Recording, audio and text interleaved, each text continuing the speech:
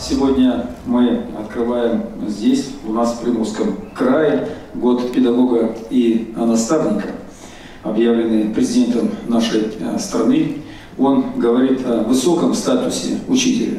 Владимир Владимирович отметил, что историческая э, миссия учителя состоит в том, чтобы воспитывать наших э, учеников и жителей будущих нашей страны в духе патриотизма, гражданственности и ответственности за свою страну. И, безусловно, мы все руководствуемся трудами великих педагогов и Сухомлинского, Макаренко.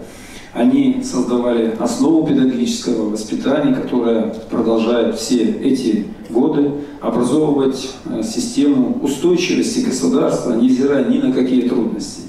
И, безусловно, в этом огромная заслуга вас, педагогов и наставников – кто своим опытом, своей преемственностью поколений делается с молодыми учителями, впитывает э, и э, передает эти свои знания ученикам, и из них вырастают замечательные люди, люди, которые способны развивать страну, которые э, способны решать социальные задачи и которые способны ее защищать.